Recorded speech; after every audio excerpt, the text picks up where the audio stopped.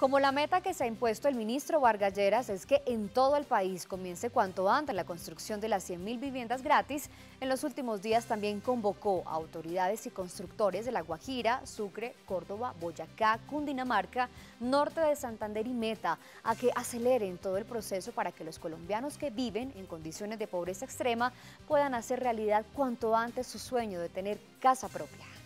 Como gobernador deseo aprovechar esta oportunidad para que en nombre del pueblo de La Guajira pueda agradecerle de manera directa y sin afanes al doctor Germán Vargas Lleras su inmensa dedicación a este territorio, ya que en el día de hoy arrancamos de manera definitiva el proceso de convocatoria de constructores y promotores inmobiliarios con miras a desarrollar el programa de vivienda 100% subsidiada para los más pobres que se encuentran en cada uno de nuestros municipios.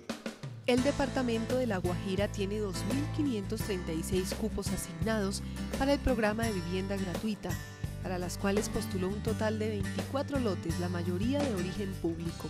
Les puedo decir una cosa sin lugar a equivocarme. En la habilitación de los lotes públicos en la región Caribe, ¿cierto Luis F?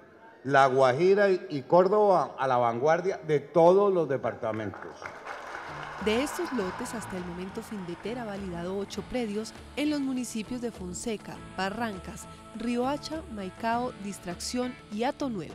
Sucre fue el segundo departamento escogido por el Ministerio para lanzar la tercera etapa de subastas. Inicia el proceso de selección de las firmas que se encargarán de la construcción de más de 4.000 viviendas 100% subsidiadas en el departamento. Y esperamos que dentro de los plazos que aquí se señalaron, las firmas constructoras, ojalá sucreñas, nos presenten sus ofertas. Ministro, ¿qué valor tiene cada, qué, valor tiene cada, qué valor tiene cada casa? Cada casa tiene un valor de 70 salarios mínimos que es un valor cercano a los 40 millones de pesos. Los dos lotes avalados hasta el momento pertenecen al municipio de Cincelejo y a San Juan de Betulia. 160 mil millones de pesos que desembolsa el gobierno nacional. Esto representa la generación de 16 mil empleos directos. Pero más importante que lo primero y lo segundo, esto es una respuesta a la esperanza de tantos colombianos y sucreños que jamás hubieran podido soñar con una casa bajo el modelo tradicional de ahorro programado y crédito hipotecario. En su marcha por el país, el ministro Vargas Lleras llegó hasta Montería. Allí anunció que en Córdoba se construirán 4.930 viviendas totalmente gratis. Quedamos con el balón en la cancha de ustedes. El 21 de septiembre, como usted lo dijo, tendremos, invito a todos los privados, dueños de lotes, constructores a que trabajen incansablemente durante estos 25, 30 días que hacen falta para que puedan presentar más de 5.000 viviendas. No podemos dejar pasar esta oportunidad. De manera que esperamos estar terminado este proceso, firmando contratos primera semana de noviembre e iniciando las obras en el mes de diciembre, entre noviembre y diciembre. El maratónico recorrido de apertura de la tercera etapa de subastas llevó a Vargas Lleras a Boyacá.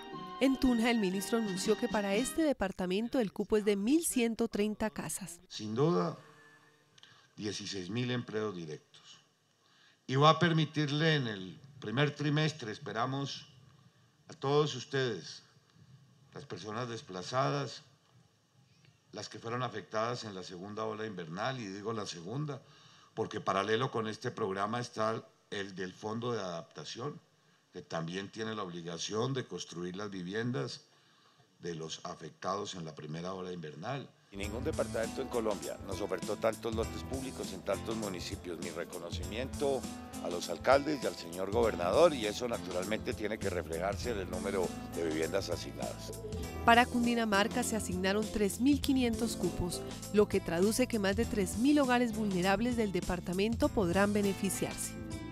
Con el ánimo de hacerse al mayor número de casas gratis para los más pobres, las autoridades municipales de Cundinamarca postularon 47 lotes, todos de origen público, 13 de los cuales ya tienen el visto bueno de Findeter en Girardot, Fusagasugá, El Colegio, Simijaca, Pacho y Ricaurte.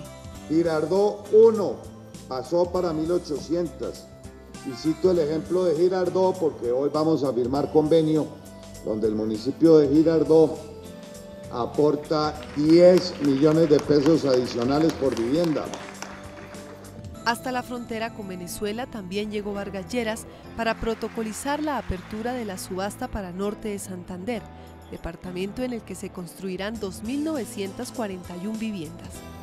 Aunque las autoridades locales propusieron 20 lotes públicos y privados, hasta el momento Findeter ha validado 6 en Cúcuta, Pamplona, Ábrego y La Bateca. La tercera etapa de convocatorias para los constructores de las viviendas gratis se cerró en Villavicencio. Allí el ministro anunció que para el Meta fue asignado un cupo de 2.804 viviendas.